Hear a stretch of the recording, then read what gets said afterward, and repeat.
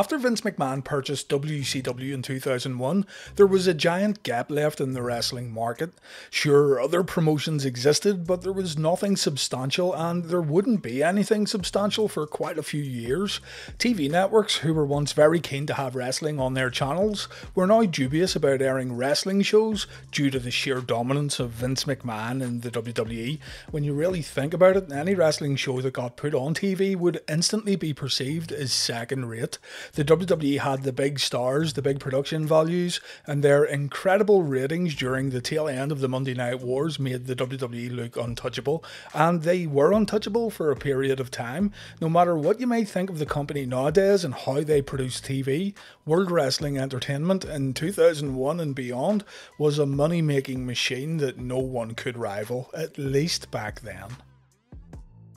On the episode of Raw that featured the WCW Nitro simulcast, Vince McMahon publicly fired Jeff Jarrett. Double J had been a WWE employee a few times during his career, but during his last stint, he held the company up for more money in order to drop the Intercontinental belt to Chyna. Basically, Jeff's contract expired while he still had the belt, and so he demanded a large sum of money in order to drop the title. With Jeff's relationship with Vince McMahon obviously destroyed, McMahon joked on TV about Jeff Jarrett now being unemployed after the WCW purchase. It's funny how things work out because Jeff Jarrett, along with his father Jerry, would end up forming a new wrestling company that would eventually contend with the WWE. Granted, it wasn't a massive challenge for Vince McMahon, at least in the very early days, but Jeff Jarrett and his father came up with an idea to begin a new wrestling organisation soon after the WCW purchase, and had Vince McMahon retain Jarrett's services after the buyout, then things could have been very different. Nonetheless, the two Jarretts and journalist Bob Ryder got funding in 2002 to begin a new wrestling company. Knowing that it would be difficult to get a television deal right off the bat, this new company would air weekly pay per views, an unprecedented move that also carried a lot of risk. Being a pay per view exclusive show, though, meant that this new wrestling company wouldn't be held back by a network in terms of edgier content. The Jarretts were pretty much free to do what they wanted within reason. Vince Russo was brought in before the first show, and Russo says that he was the one who came up with the company name TNA, Total Non-Stop Action, an obvious double entendre that really does sound like a Vince Russo creation. While not a fully fledged member organisation, TNA would partner with the National Wrestling Alliance, and TNA would be given creative control over the NWA World Heavyweight title and the NWA World Tag Team Championships. Officially, the company was known as NWA TNA. The NWA association lasted until 2004. But with all the pieces in place, NWA TNA held their first weekly pay per view on June 19, 2002, from the Von Braun Civic Center in Huntsville, Alabama, although the show would eventually move to the Tennessee State Fairgrounds venue, which would later get nicknamed the TNA Asylum. So, in today's video, we're going to look at TNA's very first broadcast on pay per view television. As a heads up, I'm going to try and avoid looking at each match move for move. I want to focus more on the production of the show, the tone that was trying to be established, the roster, things like that. We will, of course, talk about the booked matches, but it's the whole concept that's way more interesting here. The show kicks off immediately showing us the arena and entranceway, and yeah, it looks good. It reminds me of a lower budget late 2002 WCW show, but this isn't a knock at all. The arena still looks unique in its own way. I should mention too that one of the top ropes broke off during a dark match minutes before the show went live, so the schedule had to be changed around to allow some non wrestling segments begin the show in order to fix the rope. So the first NWA TNA didn't start with any non stop action, it was quite the opposite. Before we look at the first segment, we get introduced to our announce team. Don West comes out first, telling fans that history is going to be made on this very evening. Don West is still with TNA to this very day, and in 2002, West made up for his lack of wrestling knowledge with his sheer enthusiasm. Ed Ferrara is then introduced as our next commentator. Ed makes sure to tell the fans at home that he's all about TNA and he doesn't mean total non stop action. So good job burying the company within the first two minutes of the show. Ferrara sends it down to the commentary desk where we see Iron Mike Tenay on the headset. Tenay done some excellent work in WCW and I've always enjoyed listening to Mike's commentary, so having him as the TNA play-by-play guy was a great move in my opinion. Tenay says that while TNA will be making history tonight, the company will also be respecting history. Names like Dory Funk Jr., Harley Race, and Ricky Steamboat, legends of the NWA, will be in attendance tonight. Tenay also says that a new NWA heavyweight champion will get crowned on this very show, and he runs down the rules for the Gauntlet for the Gold main event. Basically, a battle royal where the last two competitors would compete in a match for the NWA title. We get sent over to Jeremy Borash in the ring, who looks like a member of NSYNC or the Backstreet Boys, and Jeremy introduces us to some NWA legends who come to the ring one by one. First, we have Harley Race, we have Dory Funk Jr., there's Jackie Fargo, Bullet Bob Armstrong, Corsica Joe and Sarah Lee, NWA Vice President Bill Behrens, and finally, we have Ricky the Dragon Steamboat carrying the NWA title to the ring. Steamboat talks about the importance of the NWA Championship and how the NWA belt is the most important and sought after title in all of professional wrestling. Steamboat says the 20 superstars have been hand selected by the NWA representatives in the ring to compete in the Gauntlet for the Gold match. Steamboat then announces that he'll be the special referee for the final match, and then Jeff Jarrett makes an appearance. Jeff, for whatever reason, says the idea of a battle royal for the NWA title sucks. Jackie Fargo decides to put Jeff into the battle royal as the number one entrant, and then Ken Shamrock shows up, getting a great ovation in the process. You know, this is when it gets strange. Ken Shamrock also says that the Battle Royal idea sucks. I mean, why are they out there burying their main event? Even though Shamrock doesn't like the Battle Royal idea, Shamrock says he's the 19th entrant and he looks forward to winning the championship. Another interruption follows, and this time it's Scott Hall. The audience goes insane for the bad guy. I also want to mention that Scott Hall's TNA theme was so good. It's a rip off of his Razor Ramon theme which was a rip-off of the Eagles song Those Shoes. And if you haven't heard Marvelous Me by Dale Oliver, then go give it a listen.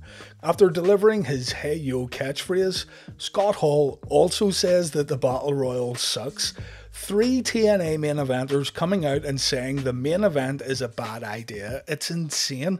And yes, maybe the idea wasn't that good, and traditionalists may scoff at a battle royal, but the final two competitors are having a traditional one on one match, so I really don't see the big deal here. Scott says not to worry about the other guys in the battle royal. Scott Hall is the one to watch. Jeff Jarrett says he'll get some payback on Jackie Fargo, and the first segment is over. It was a strange one indeed, and it's hard to wrap your head around competitors burying the main event match, but anyway, let's move on. We go backstage, and a lady named Goldilocks tells us that we're going to see some little people in action. For those who don't know, Goldilocks here was a recording artist who provided a lot of theme music for the TNA Knockout division, and she later became a manager. She interviews Stevie Lee, who is calling himself Puppet the Psycho Dwarf. The Psycho Dwarf rambles on about wanting to see, and I quote, some midget blood before Jeff Jarrett distracts everyone by kicking some chairs around. We go back to the arena where we have our first match. We see a lady dancing in a cage before the entrances because well, just because. And here we have three competitors from the X Division AJ Styles, Low Ki, and Jerry Lynn. Mike Tenay explains that the X Division is not a weight class, it's a separate group of wrestlers who class themselves as extreme superstars. Still, this is a very, very capable team here. It can't be overstated how much AJ Styles would mean to TNA over the years. Their opponents are the Flying Elvises, Jimmy Yang, Jorge Estrada, and Sonny The gimmick feels like it came right from the Jim Herd playbook, but let's give the match a chance. Keep in mind that 15 minutes have already passed before the bout begins here. This one actually turns out to be the best match on the entire show, and from the get go, all six men try to establish what the X Division is going to be about by throwing out a ton of high octane offense. Some call it overly choreographed, some call it spot fests, but it was different and it was exciting in 2002. AJ Styles immediately shows why he's special in the opening moments of the match. The veteran Jerry Lynn not only hangs in there without any problems at all, but he looks really good in doing so. Jimmy Yang too is also very impressive. And then there's Low. His overall attitude and demeanour has gotten Low a ton of hate over the years, and it's that kind of hate that isn't good at all. But when Low was playing ball and when he was doing his job in the ring, you simply can't overlook how talented he was. We end up getting a good match here and a fine introduction to the X Division. The Elvis gimmick is quickly thrown out the window when the bell rings, thankfully. And really, it's AJ Styles and Low Ki who come out looking like the ones to watch. Take nothing away from Estrada and Siaki neither. They too were fun to watch. In the end, Jimmy Yang scores the pinfall win. A good opening match for NWA TNA and a match that had the audience on the edge of their seats. And yes, this kind of bout has been surpassed, but if and when you watch this back, you need to remember that this was in 2002. Jeremy Borash introduces the next bout as a midget match. We have TEO versus Hollywood. TEO, which stands for total E outstanding, is introduced as the smallest extreme wrestler in the world, and yeah, it is what it is, really. The first head scissors spot is botched pretty badly, but everything afterwards was pretty much on point. Something that wasn't on point was Ed Ferrara and Don West's commentary during the match. It's every cheap joke they could think of, while Mike Tenay is trying to actually introduce these guys to the viewers at home. And yes, it's blatantly obvious that guys like TEO and Hollywood here were presented as an attraction match, but Ferrara and West simply refused to take the match seriously at all, which is a kind of disservice to the competitors in the ring. No matter what their size, they still take the same risks as any other competitor, sometimes they even take more risks. TEO gets the win with a kind of senton elbow drop. The match was around 3 minutes long, nothing more to say.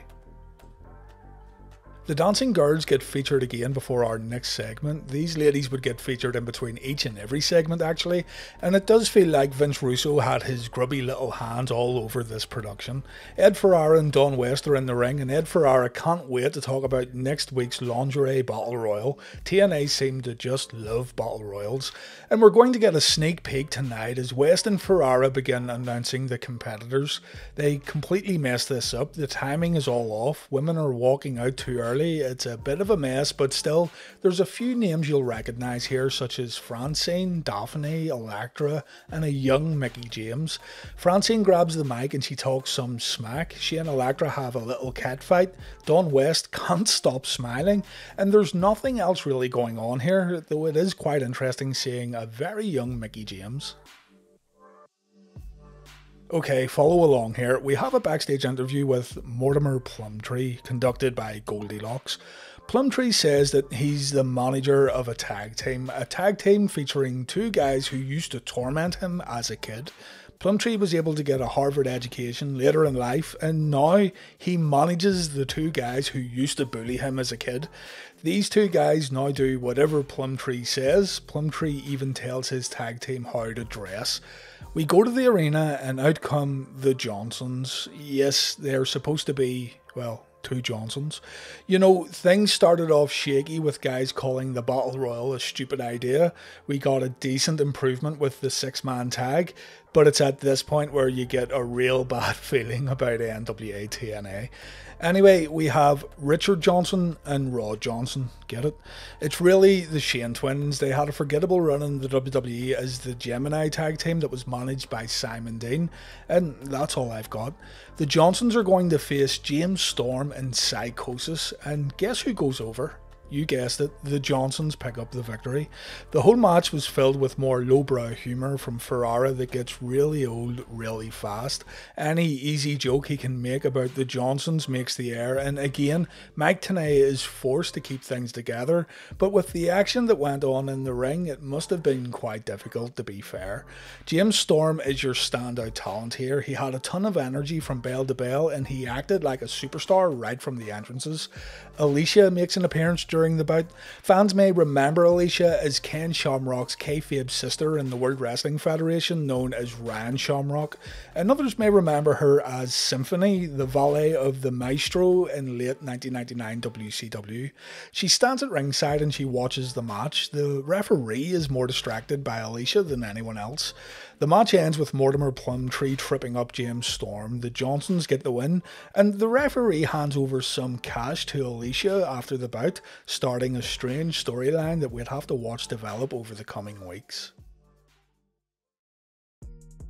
Goldilocks is backstage and she bumps into the Dupps, Bodup and Stan Dupp.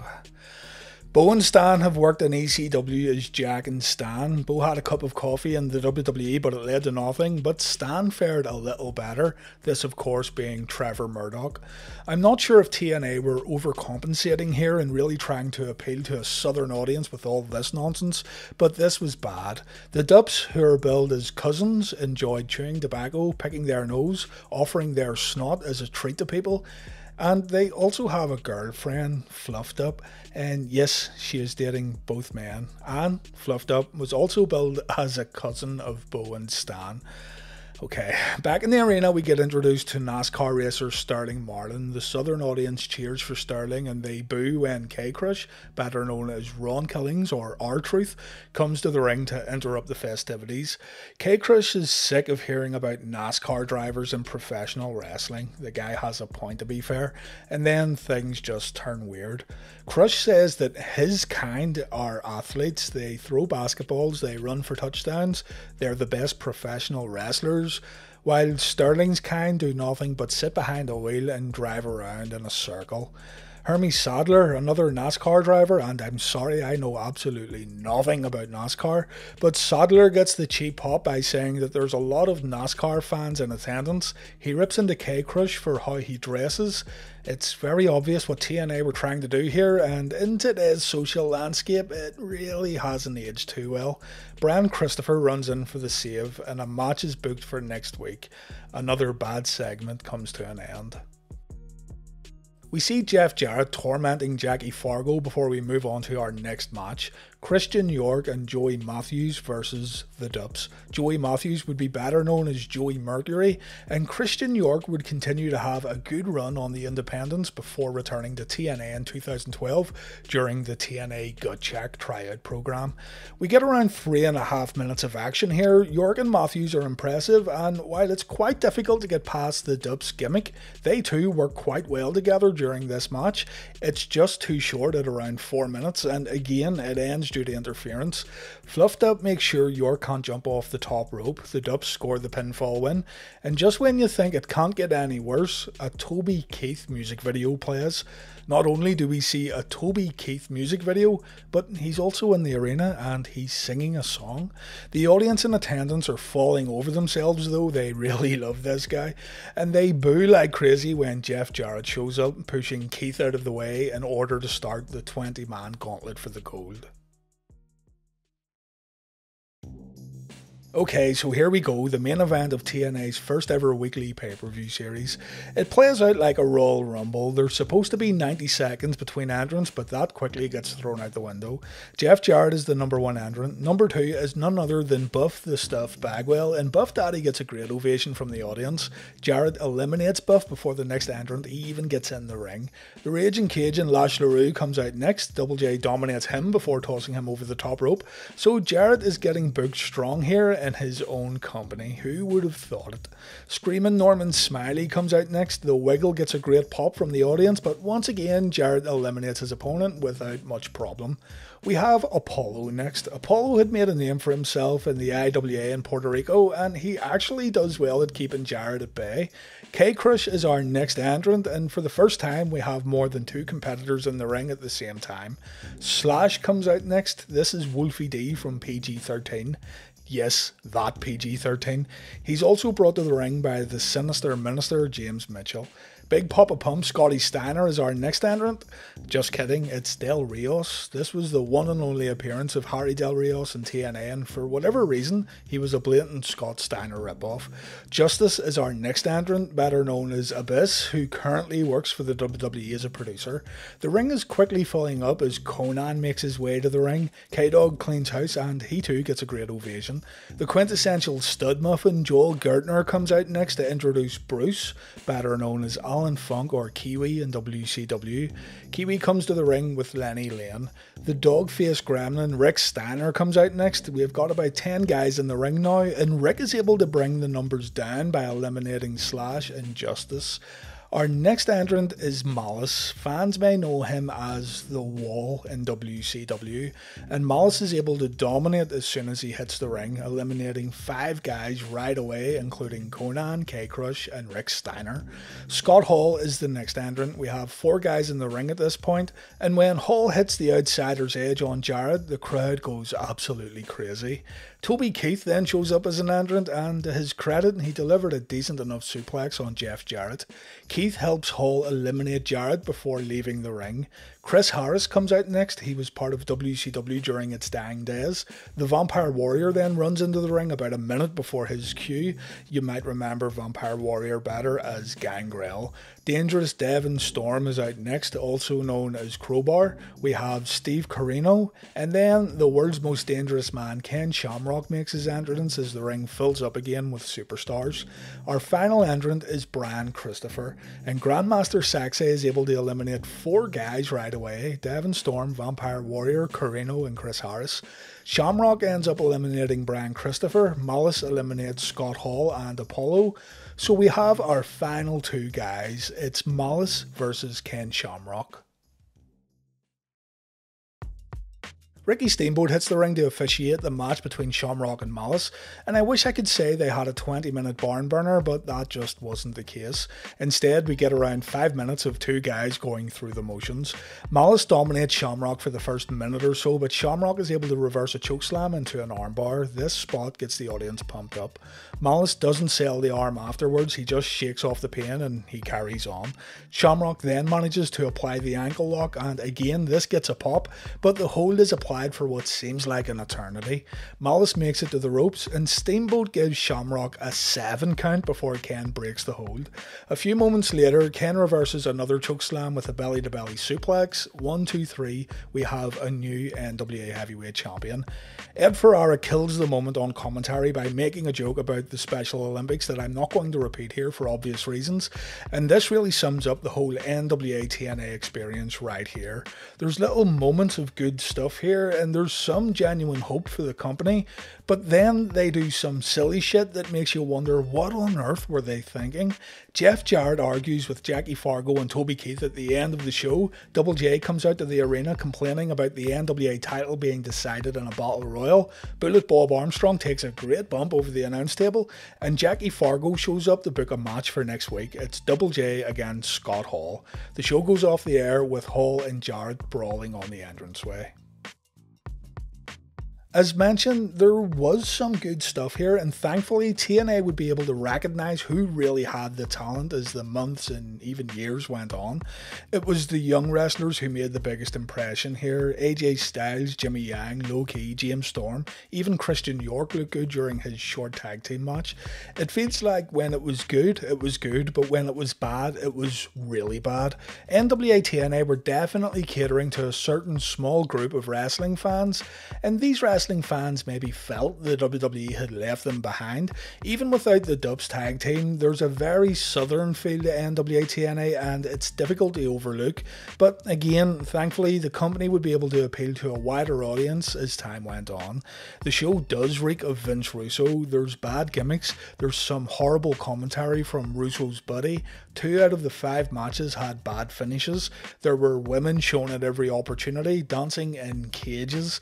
I don't think think the WWE would have been too concerned after watching this first broadcast, but it was definitely a start. The young guys performed well. There were enough old school wrestlers to keep old school fans happy. It's just a shame that the only true standout bout was the opening six man tag match. It gives you a false sense of security too. You think you're in for a good show, but then it all goes downhill. Keep in mind though, it was their first show. You can't be too critical whenever it's the first show. But that was NWA Total Non-Stop Action, their very first weekly pay-per-view show. I'd like to cover more TNA in the future, but it really depends on how well this video does and what you guys want to see. There are a few topics that definitely will get covered in TNA, but if this is something you'd like to see more of, please let me know. As always, thank you very much for watching.